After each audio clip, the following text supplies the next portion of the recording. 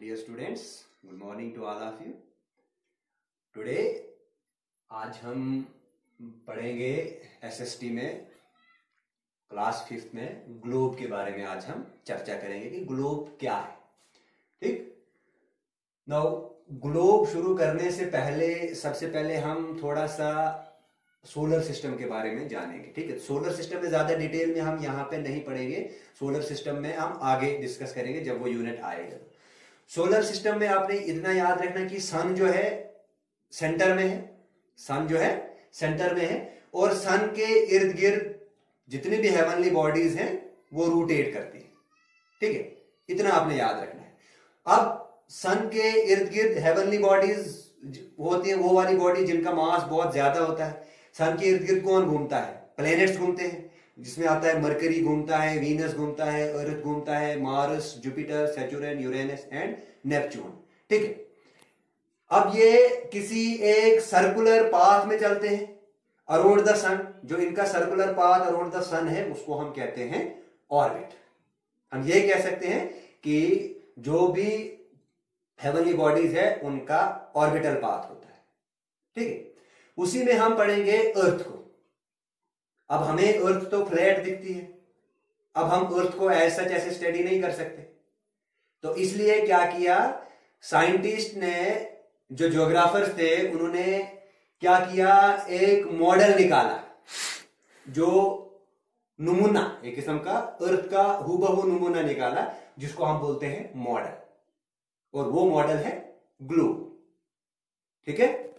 तो अब हम अर्थ को जानने के लिए अगर हमने अर्थ के जितने भी करेक्टरिस्टिक फीचर्स हैं कि इस ज़मीन, इस अर्थ पे क्या क्या है, इस पे वाटर बॉडीज कौन कौन सी हैं, इस पे कंटिनेंट्स कितने हैं, इस पे लैंड मास कितने हैं, वगैरह सब कुछ जो है, वो लिटिल इंफॉर्मेशन हमें ग्लोब से मिलती है।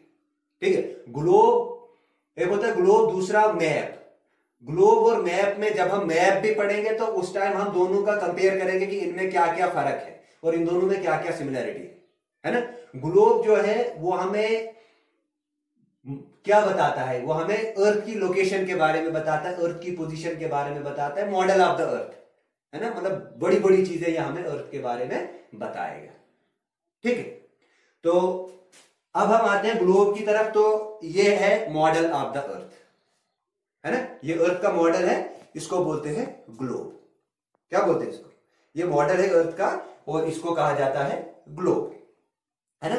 तो ग्लोब क्या है? व्हाट इज़ ग्लोब ग्लोब को हम ये कह सकते हैं इट इज़ समाल, है ना ये समाल? अब अर्थ के जितना बड़ा तो नहीं है। स्टडी करने के लिए हमने इसको समाल बनाया। इट इज़ समाल, ये सिफेरिकल होता है मॉडल ऑफ़ द अर्थ ठीक है? अब ये क्या क्या शो करता है? ये ग्लोब शो करता है कंटिनेंट्स को, ये ग्लोब शो करता है ओशंस को, ये ग्लोब शो करता है कंट्रीज़ को, ये ग्लोब शो करता है सिटीज़ को, ये रिवर को शो करेगा और ओशंस को शो करेगा। है ना? और इसके अलावा ये शो करता है बाउंड्रीज चाहे वो कंटिनेंट की बाउंड्रीज हो या ओशंस की बाउंड्रीज हो, उनको भी ये क्या करता है? उनको भी ये सेपरेट करता है। उनके बीच में हमें ये फ़र्क बताता है। ठीक है? तो सिंपल में आप ग्लोब को क्या लिखोगे? ग्लोब को आप सिंपल में लिखोगे it is the model of the earth है ना? तो सबसे पहले हम बड़ी चीज़ें पढ़ेंगे कि व्हाट इज़ ग्लोब तो ग्लोब में आपने सिंपल में याद रखना है globe is small spherical model of earth ठीक है? अब ग्लोब के अंदर क्या क्या चीज़ें हम देखते हैं? सबसे पहले ग्लोब के अंदर हम देखते हैं कॉन्टिनेंट्स तो सबसे पहले आपको पता होना चाहिए व्हाट आर कंटिनेंट्स कंटिनेंट्स क्या होते हैं? कंटिनेंट्स होता है लार्ज मास ऑफ़ लैंड बहुत बड़ा ज़मीन का टुकड़ा, उससे हम कहते हैं कंटिनेंट्स ठीक है? और पूरे वर्ल्ड में there are seven continents how many continents continents की अगर हम बात करेंगे तो कितने कंटिनेंट्स है? सेवन कंटी सेवन कंटिनेंट्स होते हैं. तो उन सेवन कंटिनेंट्स के नाम क्या क्या है? तो दीज सेवन कंटिनेंट्स आर वो आया हमारे पास नॉर्थ अमेरिका है। North America second is South America ठीक है? Third is Africa fourth is Asia then Europe then Australia, then Antarctica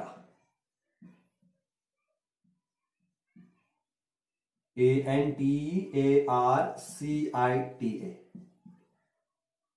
ठीक? दीज आर सेवन कंटिनेंट्स जो सबसे बड़ा कंटिनेंट है लार्जेस्ट कंटिनेंट हमारा आता है Asia Asia is the largest continent Asia है लार्जेस्ट कंटिनेंट्स। और स्मॉलेस्ट कंटिनेंट्स कौन सा है? Australia is the smallest continent. Australia क्या है? Smallest continent. ठीक? आई बात समझ? इस एंटार्क्टिका को इसको कहते हैं व्हाइट कंटिनेंट भी। क्या कहते हैं इसको? इसको कहा जाता है व्हाइट कंटिनेंट्स। व्हाइट कंटिनेंट कहा जाता है इसको। क्यों कहते हैं इसको white continent why they are known as white continent क्यों? क्योंकि ये बर्फ़ से ढका हुआ होता है, ठीक है? तो ग्लोब के अंदर हमने कंटिनेंट्स पढ़े। कंटिनेंट्स क्या होता है? लार्ज मास ऑफ़ लैंड और सेवन कंटिनेंट्स आ गए। सेवन कंटिनेंट्स में आपने याद रखना North America South America Europe आ गया एशिया आ गया अफ्रीका आ गया ऑस्ट्रेलिया आ गया और एंटार्क्टिका आ गया, ठीक है? इसमें से आपने याद रखना है एशिया लार्जेस्ट है और ऑस्ट्रेलिया जो है स्मॉलेस्ट कंटिनेंट तो कंटिनेंट क्या है? बहुत बड़ा ज़मीन का टुकड़ा लार्ज मास ऑफ़ लैंड ठीक है? दूसरी बात आती है ocean what are oceans oceans होती है एक ऐसी वाटर बॉडी बहुत बड़ी वाटर बॉडी जिसके चारों तरफ़, एक ऐसी बहुत बड़ी वाटर बॉडी जिसके चारों तरफ़ लैंड भी है। ऐसा भी हम कह सकते हैं। यहाँ ये भी बोल सकते हैं large body of water is known as ocean तो वर्ल्ड में चार बड़े समंदर हैं। वो कौन कौन से हैं? तो उनके नाम सबसे बड़ा समंदर जो है लार्ज पैसिफिक। इसमें आता है पैसिफिक ओशंस। मैं मैप में दिखाने की कोशिश भी करूँगा, पहले समझिए आप। इसमें आता है पैसिफिक ओशंस। पैसिफिक ओशंस के बाद दूसरा है Atlantic ocean. Atlantic. Pacific oceans आ गया। Atlantic oceans. Third is Indian ocean third is Indian ocean and fourth is Arctic ocean ठीक है? इसमें याद रखना पैसिफिक ओशन जो है, ये आता है लार्जेस्ट वाटर बॉडी है ये लार्जेस्ट ओशन है ये। ठीक है? यहाँ तक समझ आया आपको? हाँ इसके अलावा तो इन सारे, चाहे वो इंडियन ओशन हो पैसिफिक ओशन हो आर्टिक ओशन हो कंटिनेंट्स हो या ओशंस हो, है ना? तो ये हम इजीली ग्लोब पे हम दिखा सकते हैं कि ये जो है, जैसे यहाँ पे हम देख सकते हैं, अगर कंटिनेंट्स की बात करेंगे तो कंटिनेंट्स में यहाँ से शुरू अगर हम करेंगे, देखिए ये वाला पोर्शन जो है, यहाँ पे ये नॉर्थ अमेरिका आता है। ये नॉर्थ अमेरिका आ गया, इसी तरह ये साउथ अमेरिका आ गया, ये कंटिनेंट्स की बात मैं कर रहा हूँ पहले। नॉर्थ अमेरिका आ गया साउथ अमेरिका आ गया, उसी के बाद हम अगर हम बात करेंगे तो ये हमारा, ये जो कंटिनेंट है, ये अफ्रीका आ गया, ये अफ्रीका का कंटिनेंट है। ठीक है? और ये वाला कंटिनेंट जो है, ये यूरोप आ गया, ये अफ्रीका आ गया। अफ्रीका के बाद, उसके बाद हम अगर देखेंगे तो ये वाला कंटिनेंट जो है एशिया आ गया। है ना? एशिया के बाद जो यहाँ पे कंटिनेंट है, इसको हम बोलते हैं ऑस्ट्रेलिया ये जो कंटिनेंट है, ये वाला कंटिनेंट ये ऑस्ट्रेलिया है। ठीक है? ऑस्ट्रेलिया के बाद अब हमारे पास एक ही कंटिनेंट बचा, जिसका नाम है एंटार्क्टिका ठीक है? आई बात समझ? ठीक? हाँ। नाउ ठीक? तो ये थे हमारे कंटिनेंट्स है ना? कंटिनेंट्स के बाद हम आते हैं ओशंस तो ओशंस पे देखिए, जो हमारा पैसिफिक ओशन है। पैसिफिक ओशन दो उसमें डिवाइड किया गया है। नॉर्थ पैसिफिक ओशन और नॉर्दर्न पैसिफिक अगर हम बात करेंगे, सबसे पहले अटलांटिक ओशन की तो अटलांटिक ओशन में आता है नॉर्थ अटलांटिक ओशन और साउथ अटलांटिक ओशन ठीक है? इसी तरह यहाँ पे देखेंगे हम तो ये इंडियन ओशन आ गए। ठीक है? इसी तरह से पैसिफिक ओशन में भी बात की गई है नॉर्थ पैसिफिक ओशन और साउथ पैसिफिक ओशन की। ठीक है? आई बात समझ? जो जो हमने बोला कि जो अंटार्कटिका है ना अंटार्कटिका को व्हाइट कंटिनेंट इसलिए कहते हैं क्योंकि ये बर्फ़ से ढका होता है होता है। ठीक है? आर्टिक रीजन में ये प्रेजेंट होता है, इसलिए इसको हम बोलते हैं। एंटार्टिक रीजन में प्रेजेंट होता है तो इसलिए इसको बोलते हैं एंटार्टिक एंटार्टिका कंटिनेंट ठीक है? ये हम पढ़ेंगे जब हम लेटीट्यूड लॉन्गिट्यूड पढ़ेंगे उस टाइम ठीक? यहाँ तक समझ आया? अब देखिए। अब हम ड्रा करते हैं थोड़ा सा ग्लोब और ग्लोब को समझने की कोशिश करेंगे। अब मैं यहाँ पे, जो अर्थ की शेप है अर्थ की शेप को आप ऐसे कहना the shape of earth is यहाँ ओरेंज शेप है, यहाँ आप इसको कह सकोगे, आप जियोइड शेप याद रखना G E O I D geoid shape होती है अर्थ की। ठीक? अब हम दो चीज़ें समझेंगे पहले, सबसे पहले हम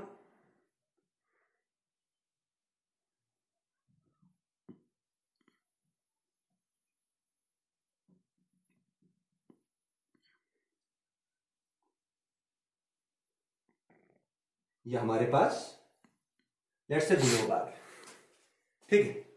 ये हमारे पास ग्लोब है।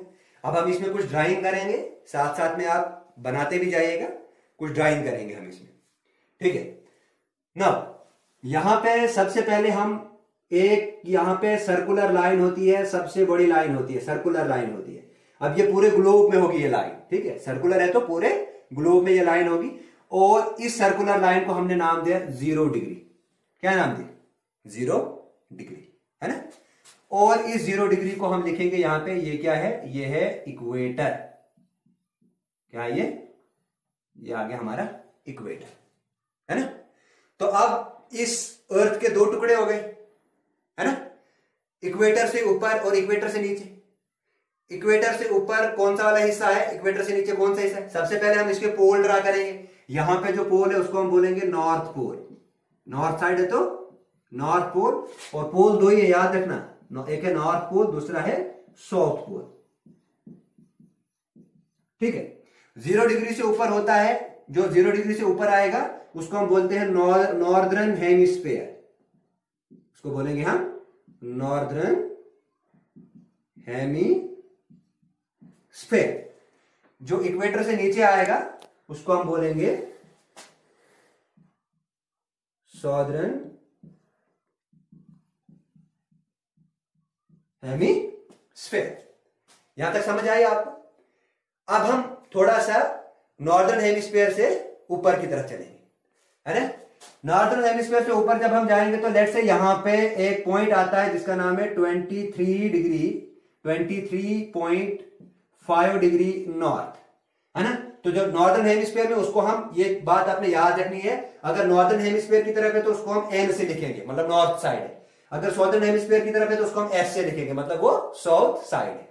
क्लियर इस 23.5 डिग्री नॉर्थ जो है, इसको आप ऐसे भी लिख सकते हो 23.1 बाई टू डिग्री नॉर्थ ठीक है? तो लेट से यहाँ पे ये लाइन आती। है ठीक है? और इस लाइन को हम बोलते हैं tropic of T R O P H I C. इसको हम बोलते हैं ट्रॉपिक ऑफ़ कैंसर। ठीक? इसके बाद इसके 23.5 डिग्री नॉर्थ से ऊपर एक और इमेजनरी लाइन आती है। यहाँ पे एक और लाइन आती है। उसको वो है 66 that is 60 six point five degree north यहाँ हम इसको ये भी लिख सकते हैं 66 one by two degree north ठीक है? इसको हम बोलते हैं, ये जो नॉर्थ साइड है, इसको हम बोलते हैं ऑप्टिक इसको हम बोलेंगे ऑप्टिक सर्कल अब ये सर्कल क्यों सर्कुलर लाइंस होती हैं ग्लोब पे आप देखोगे, जब आप ग्लोब देखोगे तो ग्लोब पे जितनी भी लाइंस है ना, जो, और ये जो है, ये लाइन पैरेलल लाइंस होती है। ठीक है? ये हमें लैटिट्यूड बताती है। क्या बताती है? ये हमें लैटिट्यूड बताती है। ठीक है, और ये लाइन जो है, ये ये जो है, ये ईस्ट वाली साइड है, ये वेस्ट वाली साइड है, ये जो है ईस्ट वेस्ट साइड से जो जो ईस्ट वेस्ट साइड लाइंस होती हैं, उन लाइंस को हम बोलते हैं लाइंस ऑफ़ लैटिट्यूड्स और इस लाइन ऑफ़ लैटिट्यूड्स को हम बोलते हैं पैरेलल ऑफ़ लैटिट्यूड्स भी। क्या बोलते हैं? पैरेलल ऑफ़ लैटिट्यूड्स भी। चलिए, अच्छे से समझेंगे इसको, पहले ड्रा करें, उसके बाद समझ, समझने की कोशिश करेंगे हम। ठीक है? ना उसके बाद इक्वेटर से नीचे की तरफ़, इक्वेटर से साउथ पोल की तरफ़ जो लाइन आती हैं, ये वाली लाइन, इसको मैं लिखूँगा ऐसे 23.5 डिग्री साउथ साइड है तो S R 23 point twenty three one by two degree south. ठीक है, इस लाइन को हम बोलते हैं ट्रॉपिक ऑफ़ कैप्री कॉरन। क्या बोलते हैं इसको? इसको हम बोलेंगे ट्रॉपिक ऑफ़ कैप्री कॉरन ठीक है? उसके अलावा एक और यहाँ पे एक इमेजनरी लाइन आती है। ऐसे लाइन आएगी सर्कुलर लाइन ये भी होती है। ये होती है 66.5 डिग्री साउथ या 66 one by two degree south ये वाली जो लाइन है, इसको कहा जाता है Antarctic A N T R A C T I Antarctic circle ठीक है? आई बात समझ? तो ये सारी की सारी जो लाइंस हैं, ये जो मैंने ड्रा की लाइंस ये मेजर लाइंस है। ऐसी लाइनें बहुत सारी होंगी, हज़ारों लाइनें हैं ऐसे। इन सारी लाइंस को कहा जाता है पैरेलल ऑफ़ लैटिट्यूड्स क्या कहा जाता है इनको? पैरेलल ऑफ़ लैटिट्यूड ठीक है? No what is parallel of latitude parallel of latitude होती है वो लाइंस जो रन करती हैं पैरेलल में। वो लाइंस जो रन करेंगी पैरेलल में, आपस में पैरेलल में वो रन करेंगी राउंड द ग्लोब पूरे ग्लोब में ये, पूरे ग्लोब में ये कैसी लाइंस है? पैरेलल लाइंस है। ठीक, यहाँ तक। उसके बाद इसको मेजर हम करते हैं इक्वेटर को हमेशा हम ज़ीरो डिग्री लेंगे। ठीक है?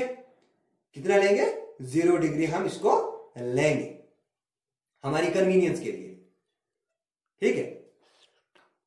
ज़ीरो डिग्री जो है, वो हमारा इक्वेटर आ गया। ज़ीरो डिग्री से ऊपर आ गया हमारे पास नॉर्दर्न हेमिस्फीयर ज़ीरो डिग्री से नीचे आ गया हमारा सॉदर्न हेमिस्फीयर ठीक है? नो अब हम क्या समझेंगे इसमें? अब हम हाँ नो यहाँ तक समझ आया आपको, ये थी हमारी पैरेलल लाइंस ये लैटिट्यूड थी। और लैटिट्यूड हमें क्या बताता है? लैटिट्यूड हमें बताता है लोकेशन के बारे में। वो हम देखेंगे कैसे लोकेशन के बारे में बताएँगे, वो आगे के लेक्चर्स में हम पढ़ेंगे इसको। ठीक है? ये थी हमारी लैटिट्यूड के बारे में। अब हम पढ़ते हैं लॉन्गिट्यूड के बारे में। ठीक है? तो लॉन्गिट्यूड जो है, ये जो है, ये क्या है? ये रन करती है लॉन्गिट्यूडनल लाइन जो है, वो नॉर्थ पोल से लेकर साउथ पोल यहाँ की तरफ़ रन करेंगी। ठीक है?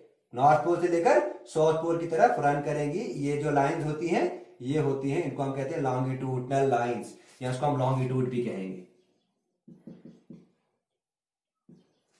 इसको हम लॉन्गिट्यूड कहते हैं। तो लॉन्गिट्यूड क्या हो गया?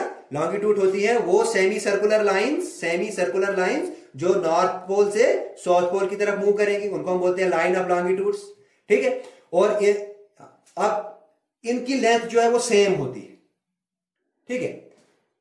इनकी लेंथ सेम होती है, लेकिन जो लैटिट्यूडल लाइंस है, उनकी लेंथ सेम नहीं होगी। क्यों? लैटिट्यूडल लाइंस की अगर लेंथ नॉर्दर्न हेमिस्फीयर में अगर हम आर्कटिक सर्कल के ऊपर की बात करेंगे तो इनकी जो लेंथ है वो बहुत कम है। इक्वेटर की सबसे लार्जेस्ट सर्कल जो है वो इक्वेटर का ही आता है। ठीक है तो इक्वेटर को ही ज़ीरो डिग्री कंसिडर किया जाता है। ठीक है तो हम बात कर रहे हैं लॉन्गिट्यूड की। तो लॉन्गिट्यूड की जो लाइंस हैं, वो लाइंस कैसी हैं? वो लाइंस हैं सेमी सर्कुलर सेमी सर्कुलर है नॉर्थ पोल से साउथ पोल की तरफ़ रन करती हैं और ये जो है इनकी लेंथ जो है सेम होती है। ये पैरेलल नहीं होती है। These line are not parallel ठीक है, ये पैरेलल नहीं है। इन लाइंस को हम कहते हैं मेरिडियंस ऑफ़ लॉन्गिट्यूड भी ठीक है, इनको क्या बोलते हैं? इनको हम बोलते हैं meridians M E R D I A N S M E R I D I N S meridians of longitude भी इनको हम बोलते हैं। ठीक है, अब देखिए। ठीक है? हाँ अब देखिए, अब यहाँ पे आपने ये बात याद रखनी है। ठीक है? हर पंद्रह डिग्री के बाद, हर पंद्रह डिग्री की इंटरवल के बाद हमने एक लॉन्गिट्यूडनल लाइन को ड्रा एक लॉन्गिट्यूडनल ला को, एक लॉन्गिट्यूडनल लाइन को ड्रा करते हैं हर पंद्रह डिग्री इंटरवल के बाद। ठीक है? अब इसमें समझने वाली बात है कि अगर हम इसको बात करेंगे, ये जो हमने मानी, इसको हम क्या मानेंगे? इसको हम मानेंगे प्राइम मेरिडियन लाइन ये कौन सी लाइन है? प्राइम मेरिडियन लाइन अब हम इस प्राइम मेरिडियन लाइन पे डिस्कस करेंगे जरा, क्या है ये प्राइम मेरिडियन लाइन ठीक है? अब देखिए, ये जो लॉन्गिट्यूड है, ये हमें टाइम बताता है। क्या बताता है? ये हमें टाइम बताएगा। अब वो कैसे?